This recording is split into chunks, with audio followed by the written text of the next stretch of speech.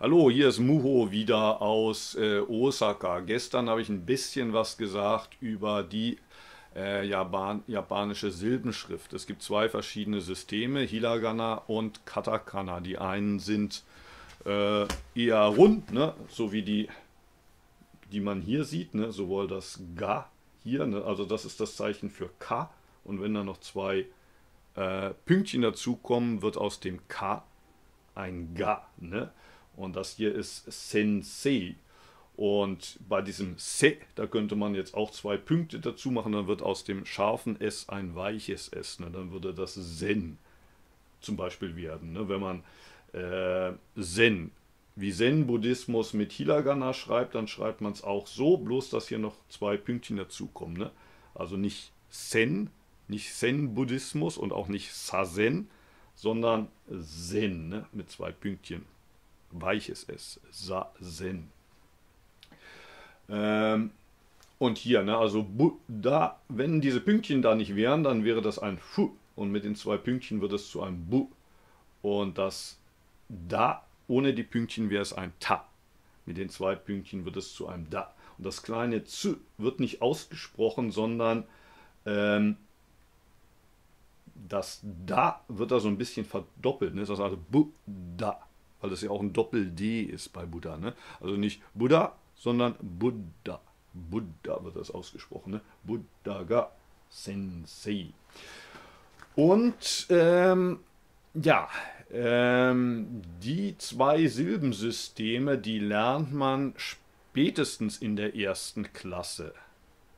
Ähm, in Japan, also verglichen damit, dass man im Alphabet nur 26 Buchstaben hat, eine ganze Menge. Aber wie gesagt, ich habe das Gefühl, dass es äh, sehr viel logischer ist und auch sehr viel einfacher für japanische Kinder zu lernen. Ne?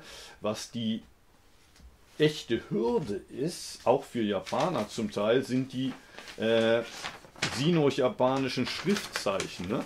Also das ist eine Tabelle von den Schriftzeichen, äh, die Erst-, Zweit- und Drittklässler lernen. Ne? Also das ganz oben ist das Grüne, das lernt man in der ersten Klasse.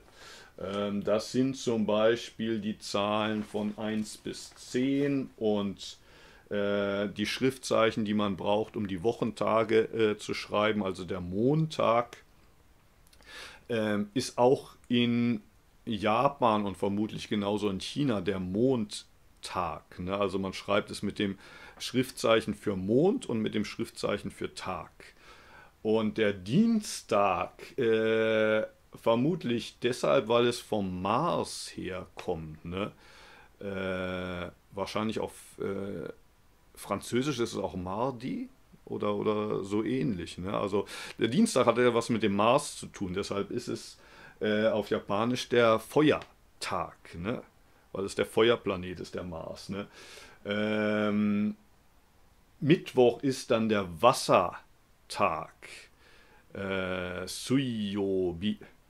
Ähm, der Wasserplanet. Äh, welcher Planet ist denn das jetzt? Nicht Merkur vielleicht? Vermutlich, ne? Mer Mercredi auf Französisch, ne? Äh, wenn ich mich jetzt nicht täusche. Und äh, der Donnerstag ist der Holztag, Mokuyobi. Ähm, das ist dann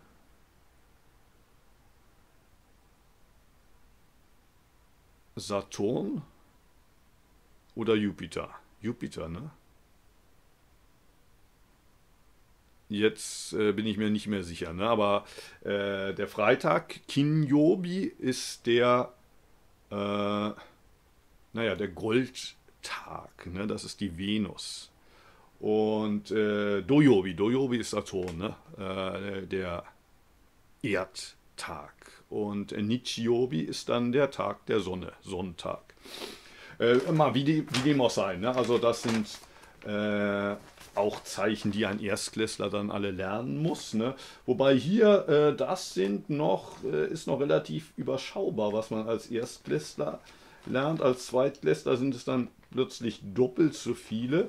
Und das Blaue, das sind dann die Zeichen, die man als Drittklässler lernt und als Viertklässler sind es dann plötzlich in einem Jahr schon 200. Das heißt, äh, im Schnitt lernt man an jedem Schultag ein neues Schriftzeichen. Und das geht dann so weiter. Bis zum Ende der Oberstufe hat äh, der durchschnittliche Japaner 2000 Schriftzeichen gelernt. Und äh, so viel braucht man auch, wenn man eine Zeitung zum Beispiel von vorne bis hinten lesen will und äh, sowohl den Kulturteil als auch den Wirtschaftsteil und so weiter alles verstehen will. Ne? Das Schwierige an den Schriftzeichen ist, dass man bei jedem dieser Zeichen auswendig lernen muss, wie es ausgesprochen wird. Wobei äh, die meisten dieser Zeichen auf verschiedene Weise ausgesprochen werden können. Das hängt dann immer äh, vom Kontext ab. Ähm, was man allerdings äh, bei manchen, zumindest bei manchen dieser Textzeichen bei einem guten Betrachten versteht, ist, was sie bedeuten. Ne?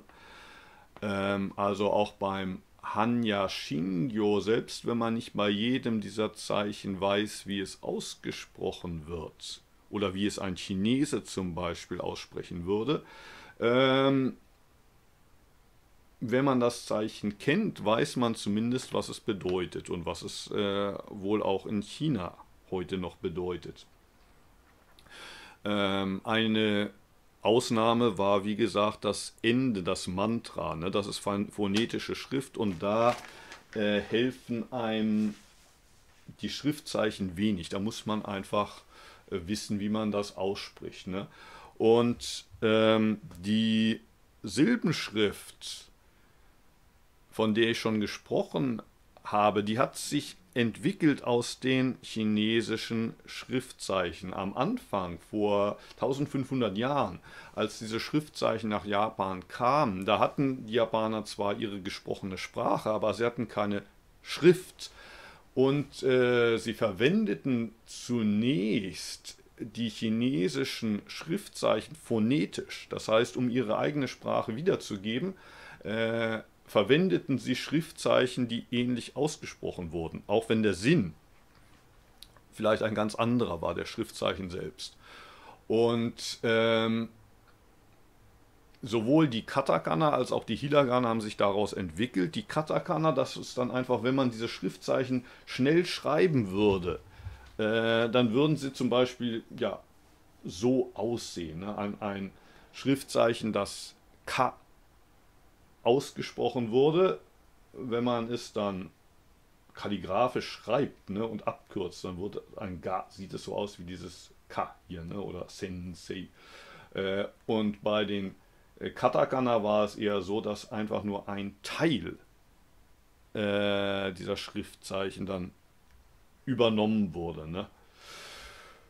Ähm, na, wer das ganz genau wissen will, da gibt es bestimmt äh, andere Stellen im Internet, wo man das noch genauer erklärt bekommt. Ne? Aber mh, hm, ja, ne? also in der Schule äh, lernt man in der Grundschule wahrscheinlich so erstmal um die 1200 Schriftzeichen, würde ich sagen, plus den beiden äh, Silbenschriften. Und was für uns Deutsche vielleicht ähm, interessanter jetzt ist, ne, ist die Frage, wie spricht man äh, Japanisch aus? Ne, wenn man weder äh, die Schriftzeichen kennt noch die Silbenschrift, äh, bekommt man es in der Regel ähm, mit lateinischen Buchstaben. Zum Beispiel auch in den äh, Sutra-Büchern. Ne? Also es gibt zum Beispiel im Soto, im Soto dieses äh, Sutra-Buch hier. Das kann man, ich habe das auch beim Herz-Sutra schon mal verlinkt. Ne? Das kann man sich auch runterladen äh, aus dem Internet. Ne? Das gibt es vollständig im Internet. Da kann man es entweder einsehen oder, wenn man will, sich auch runterladen. Und da sind alle äh, im Soto einigermaßen gebräuchlichen äh, Sutren mit lateinischen Buchstaben zu finden. Das Herz-Sutra ist da, äh, natürlich auch dabei. Und äh, da ist sogar äh, englische Übersetzung mit dabei. Ne? Aber in vielen Dojos wird es ja auf Japanisch gelesen. Ne? Ist halt nur die Frage, wie. Wie genau liest man das? Zum Beispiel ähm, schreibt mir hier jemand, wie kommt es zu den unterschiedlichen Aussprachen des Sutras in den Zen-Linien? Einmal O mit Überstrich als O und ein, anderer, ein anderes Mal O mit Überstrich als Ö. Ähm, darauf habe ich schon auch in der Kommentarspalte geantwortet, dass im Japanischen es eigentlich kein Ö gibt. Ne? Also mein Name, mein Nachname ist ja Nölke. Das können Japanische, Japaner so nicht aussprechen. Äh, die sagen stattdessen Neluke, äh, so wie die Blume, Nelke. Ne? Äh, weil es gibt kein Ö ne? und der Oberstrich macht aus dem O kein Ö. Der Oberstrich bedeutet einfach nur, dass das O lang ausgesprochen wird. Äh, aber darüber spreche ich vielleicht ein bisschen ausführlicher im nächsten Video. Bis dann. Tschüss.